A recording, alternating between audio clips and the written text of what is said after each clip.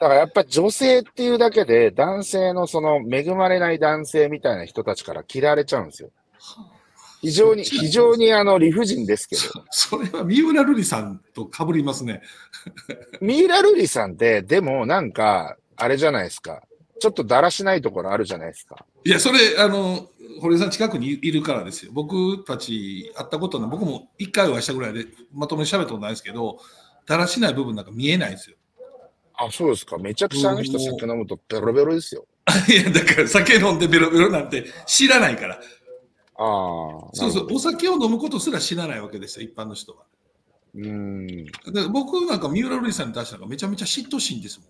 この人頭ってきれくてって感じですよ。僕なんか見てたらそうです。別にもちろん大好きですけどね。好きか嫌いかまあまあ、どっちににしても、どっちにしても、蓮舫さんは絶対、あの、首相にはなれないわけですよ。うん、まあそうですね。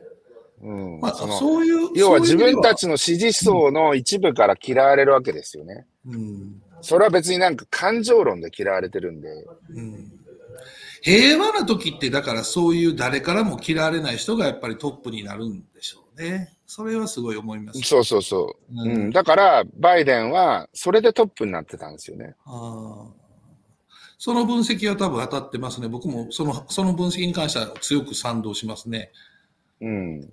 あだから、あの、カマラ・ハリスになって、まあ、もちろんね、認知症の老人よりはマシだっていうことで支持率は上がってますけど、うん、まあ、実際のところどうなのっていう。あれでも日本の総理が先に決まってすぐに小泉